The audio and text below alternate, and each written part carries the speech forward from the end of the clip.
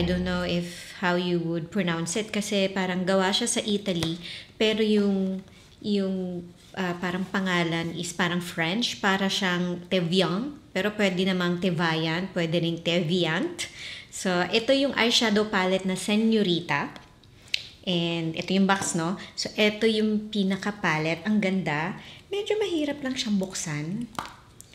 Yan, pag binuksan mo siya, meron siya ng mirror, tapos meron siya nitong plastic na cover. And, kaya itong senyorita yung palette na kinuha ko kasi ang ganda ng shades. Oh, ganda, hinawakan ko. Ayan siya guys, so, ang ganda. And yung kulay green, tsaka yung purple, tinatawag ako, parang gamitin mo ko, parang ganon. Maganda naman lahat. Pero yung, meron tong apat na palette eh. Yung tatlo kasi parang may kahawig na akong mga shades. Ito rin naman meron. Pero kasi yung pagkakahalo nitong mga shades na to, maganda. So, um, pwede ko siyang dalhin ng siya lang na hindi ko na dalhin yung iba kong mga makeup palette. So, ang ganda ng pagkakahalo ng shades na to. And, uh, ito yung eyeshadow palette na collaboration ni Miss Heart Evangelista um, with her makeup artist na si Albert Corny Corniawan. And I didn't know ngayon ko lang nalaman nung nire-research ko yung yung yung sa palette na he's Indonesian pala. I thought he's Filipino kasi I noticed he's not speaking Tagalog. Um and but he's been working here na for a long time. I think 10 10 years 10 11 years na. So I think medyo nakakaintindi na siya ng Tagalog. Pero I didn't know. Parang ngayon ko lang nalaman na hindi pala siya Filipino. So nakapaglagay na ako ng Colourpop No Filter Concealer dito sa may eye area ko as my base. Gusto ko talagang gamitin yung green. Mahilig ako sa green na eyeshadow and let's hope na maganda yung uh, pigmentation nung nitong eyeshadow. Um, mention ko din pala if hindi kasi yata kita sa camera eh. Uh, ang ganda nung halo nung, nung mga eyeshadows. Karamihan kasi ngayon, halo ng matte, halo ng shimmer, or halo ng matte, halo nung, halo nung mag-glimmer, mag-glitter, glimmer, mag-glitter na eyeshadow. Pero ito kung titignan, meron siyang parang satin, meron siyang matte, meron siyang matte pero may konting sparkles, So parang iba't ibang finishes yung yung eyeshadow na nandito. So maganda parang merong at least three types ng ng eyeshadow na finish yung meron dito. Kaya ang ganda niya guys, ang ganda niya. Okay. Ang tagal ko tong tinititigan kagabi. Kasi tinitingnan ko pa lang yung palette, ang dami ng eyeshadow looks na magagawa. Pero start tayo sa green kasi kaya ko siya binili dahil, dahil dun sa green. Kukunin ko tong Fantasia, yung orange.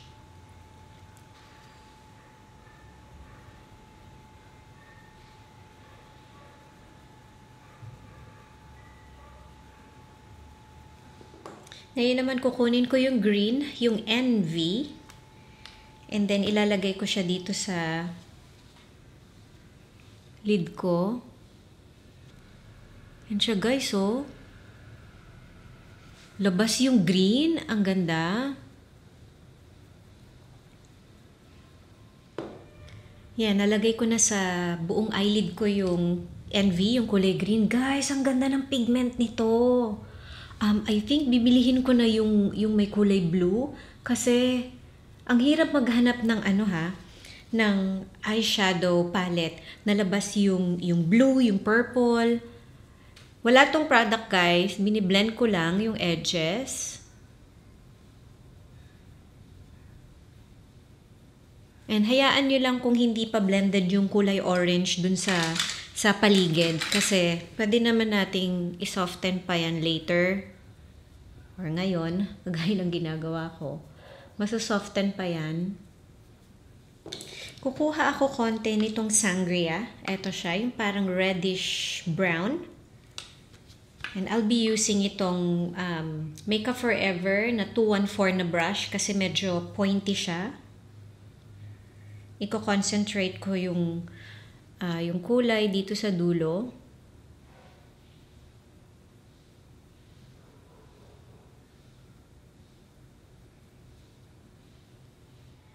Ganda guys talaga ng eyeshadow. Um, wala siya yung, yung parang pag nag-pick up, yung sabog-sabog, walang ganon. And kung battery siya, yung feel niya pag nagsasawsaw ka ng brush, ang battery din niya pagka nilalagay sa eye area, or sa ito, sa eye area, sa lid. And then, blend lang guys. Blend lang ulit. Using a parang cleaner na brush. Now, I will be using itong black na may glitter. Pangalan niya is Azar. Azar ka ba? Ganda, guys. And then, ifo-focus ko lang dito sa may uh, lash line ko para meron akong parang soft na parang black na line.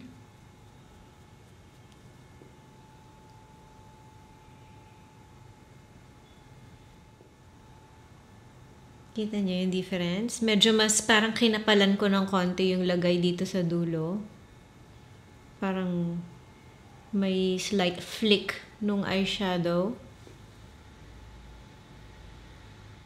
Ginawa ko na guys yung, yung buong face ko. Naglagay na ako ng false eyelashes. Ngayon, balikan natin yung eye area kasi ito naman yung focus nung um, review natin today. So, ayan.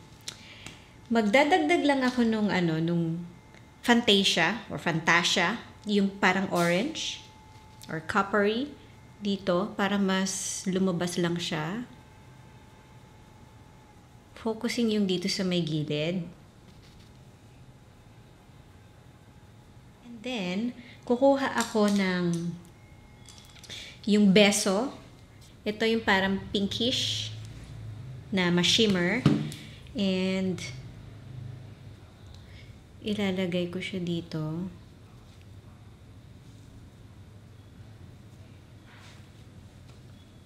Maglalagay din ako dito. Yan. Di ba parang orangey na nagpipinkish pataas? Kasi medyo pinkish yung undertone ng shimmer. Sa ilalim naman ng mata, uh, natitempt akong ilagay yung green ulit. Pero, let's try something else. I will try itong last. Itong parang lavender. Lumalabas naman guys. Masyado lang akong nag-iingat.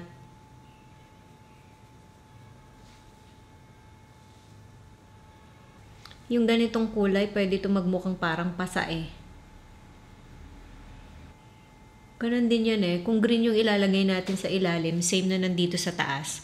Um, ganon din, dark din siya eh. So, malindigan na natin yan.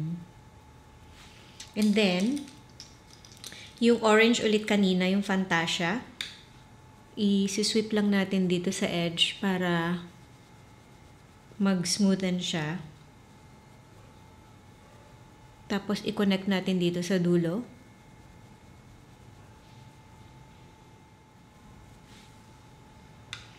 And then, magla-line lang ako ng black eyeliner sa, sa buong eye area. Ayan na guys, naglagay lang ako ng eyeliner sa buong eye area. And then, maglalagay lang ako ng mascara naman dito sa may ilalim na lashes.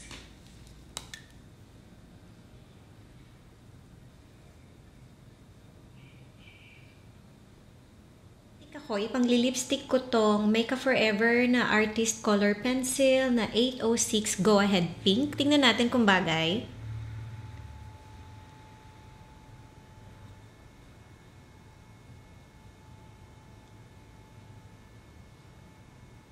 Shadow yatang pink.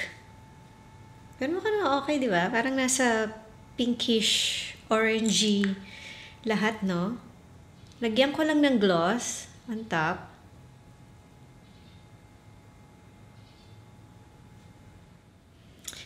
kulang yung ano, yung glow dito sa may inner part ng eye area. So, I will try. Let's hope hindi sobrang maglowing maglowy. Itong parang silver. Uh, this is called Destiny. Light lang. Oh, pwede.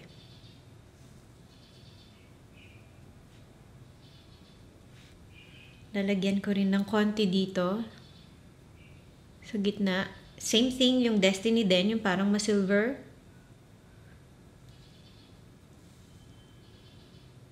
Nakikita niyo yan? Medyo nag-sparkle siya ng konti. Ang ganda, guys!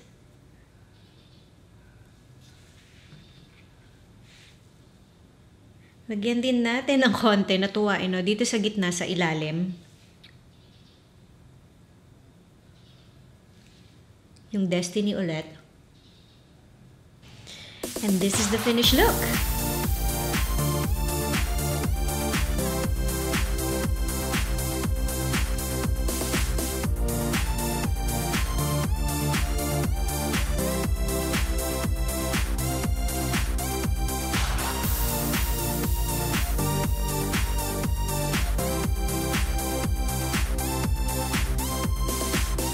Dito na tayo sa my second look. Uh, nakapaglagay na ako ng concealer sa my eye area ko as parang primer. And ngayon kukuha naman ako nitong Sangria. Ito. Ilalagay ko siya sa dito sa crease para siyang siya yung gagamitin kong um, transition color. Hindi ko pinawderan yung yung concealer. Same as nung yung sa first look. So medyo maano siya, malagkit. Hindi siya yung madaling mag-glide. Gusto ko kasi kapit na kapit yung kulay. So ngayon na nalagay ko na yung sangria, dito sa my crease, i-blend ko naman siya ngayon using parang mas maliit na na brush. Parang blending brush. Okay lang guys kung hindi pantay na pantay kasi hindi naman magkaparehas yung ano yung mata natin. Merong isang mas mataas, merong isang mas chinita, may isang mas almond, Susundan nyo lang kung ano yung nakikita ninyo. Ngayon naman gagamit tayo ng mas maliit pa na blending brush. So ito yung una kong ginamit. Makikita ninyo tatlong klase siya ng blending brush. Ito yung Sigma Airbrush Blender F63. Tapos blend ko nitong Inglot na 10S. Tapos ngayon gagamitin ko itong Sigma na blending E36. So magkakaiba sila ng sizes. Kukuha ako ngayon nitong Azar, yung black. Ngayon, ifa-focus ko dito sa yung pinaka-crease talaga para mas ma-enhance pa.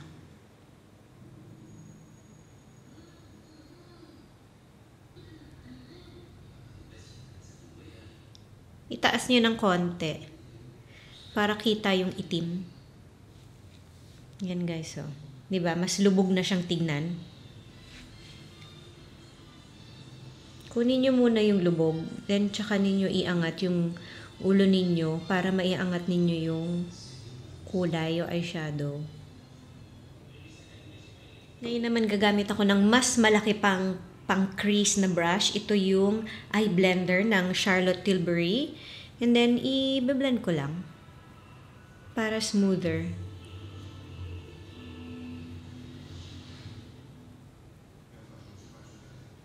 Blend lang ng blend, guys. Para defined pero soft. Ngayon naman kukuha ako nitong chika. Tapos ilalagay ko all over my lid. Wala siyang masyadong kulay. More on parang shimmer siya. Parang ang hirap i-explain eh.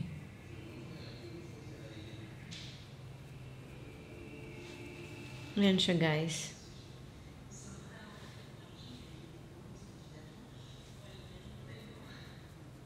Ngayon naman, ilaline ko itong upper lash line ko ng black na eyeliner. Yan. Tapos, i-blend ko siya uh, nitong brush na maliit. Pero, isasawsaw ko sa black na eyeshadow, yung Azar, yung brush, bago ko i-blend.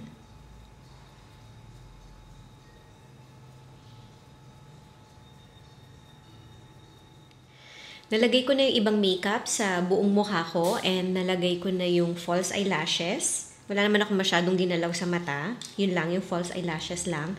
Ngayon naman, um, kuha tayo nitong Vivir. Ito siya, yung Vivir.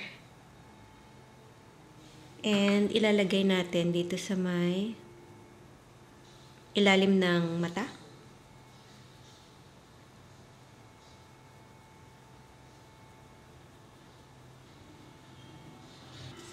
Tapos kuha tayo ng beso, ito. Medyo ma ano siya, may pagka-pinkish. Tapos i-blend ko siya dito sa may dark na part ng eyeshadow.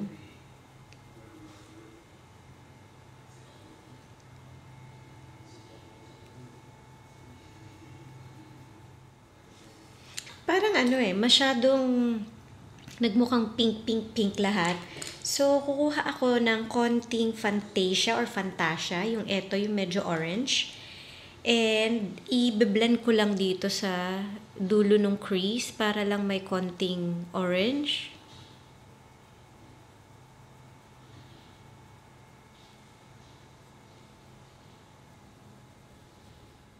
Diba? And, kukuha ako ng konti din or same thing, ilalagay ko dito sa ilalim. Yung orange pa rin.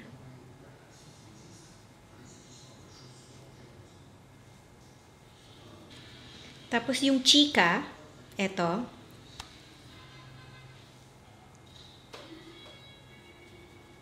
Lalagay ko dito sa ilalim din.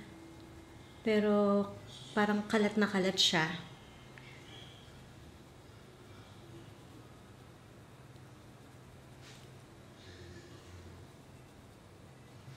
Tapos Destiny, yung silver.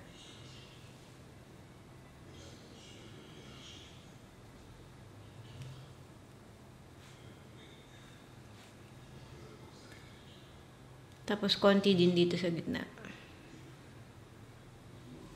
Medyo ibe-blend ko lang siya. Uh, namumula yung mata ko. Ano guys eh, second day na to itong second look kasi uh, yesterday nung ginawa ko yung first look, after kong gawin yung first look, um, biglang uh, parang tinamaan na ako ng flu, sinipon na ako and also ngayon medyo masama pa rin ng konti yung pakiramdam ko. So, ayan, paluha-luha pa rin yung mata ko na parang dry, na ewan, di maintindihan. Um, maglalagay lang tayo ng konting yung azar, yung black, dito lang sa dulo Actually, buuin na natin. Hindi naman buo, parang yan, hanggang kalahati. And apply lang tayo ng mascara sa lower lash.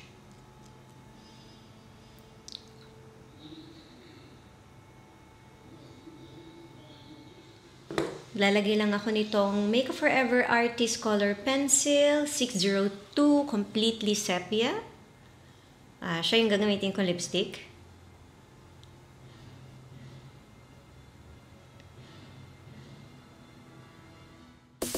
Eto na guys yung final na look.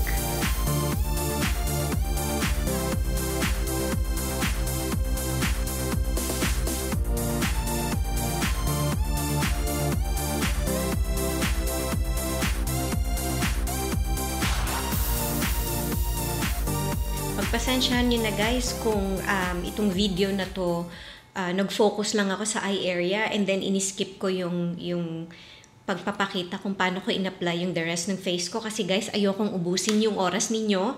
Uh, gusto ko makita ninyo kung paano gumawa ng two looks. Actually marami pang look ang pwedeng magawa nitong senyorita na palette.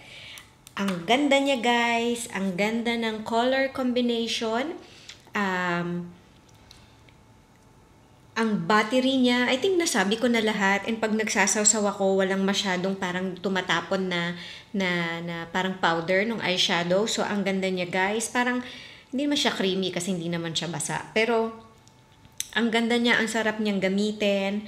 Um, and ayun nga, itong Senorita na palette, yung combination ng colors, merong, merong black, merong brown, merong um, may cool toned, may warm toned, um, may ma-shimmer, merong may matte, merong parang matte na may konting parang glitters ng konti. So, ang ganda niya guys, yung kulay green, yung kulay purple, yung kulay orange, labas na labas yung kulay. Actually, lahat sila, except yung chika.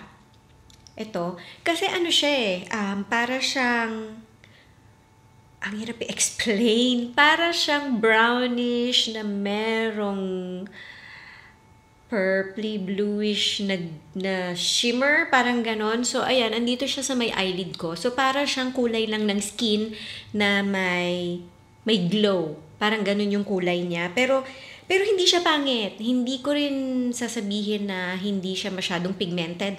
Lahat sila pigmented. Yun lang talaga kasi yung dating nung kulay niya. Parang hindi siya yung labas na labas. Para siyang skin na merong glow, nakangangaba yung false eyelashes ko. Pagpasensyahan nyo na guys. Again, ito yung second na look. Um, sobrang ang dali niyang gamitin. Um, kung sa fallouts, hmm, wala akong masyadong napansin na fallouts kasi pag gumagawa talaga ako ng eyeshadow, pag sausaw ko sa palette, um, tinatap ko ng konti sa tissue. So, kunyari, nagsawsaw ako sa, sa eyeshadow, sawsaw, tapos konti, isang tap sa tissue, and then tsaka ko ilalagay sa sa eye area ko except pag yung may glitters. Pero wala namang mag-glitters dito. Kumaga, ma-shimmers lang. Yan siya, guys. So, um, iniisip ko pa kung gusto kong bilihin yung merong kulay blue na eyeshadow. Pero, baka, tingnan natin. Kasi guys, ang ganda ng pigmentation nila. And hindi siya super mura. Pero, worth it siya guys. Like this one, I could travel with this lang. Kasi yung ibang mga palettes, um, Walang black, walang brown, parang puro shimmer lang, puro glitter lang. Ito, andito na lahat. Pwede kang gumawa ng daytime look, evening look. Uh, even, even I think bridal, pwede kang gumawa dito eh. Yes. Depende kung paano mo lang siya lalaruin. Pero kaya eh. Kaya guys.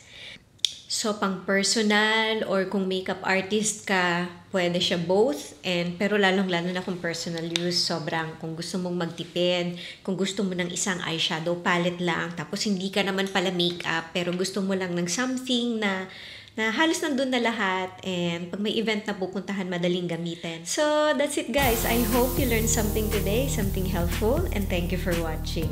Bye!